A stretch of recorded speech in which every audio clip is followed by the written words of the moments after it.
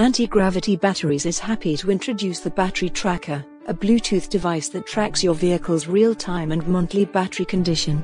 It easily connects in minutes to the battery in your vehicle, then transmits information about your battery's voltage and health to the Battery Tracker app on your phone. The Battery Tracker features real-time voltage readout, 31 days of historical battery data, a cranking test, and a charging test.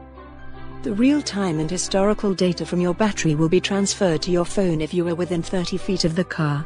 So you don't have to be in the car to view the voltage. This data will show you how fast your battery drains in storage, or if a new accessory is draining your battery, or even if someone has driven your car. It also will show each time you started the car, and what voltage your car is charging at. All the data is on the historical graph pages in the app. It even sends warnings to your phone if your battery is draining low, and it sends daily status so you can take action before the battery goes dead. The battery tracker does two other functions a cranking test, and a charging system test. The cranking test allows the user to see how low the voltage goes during a start attempt. This data can be useful to determine if the battery is struggling or getting old.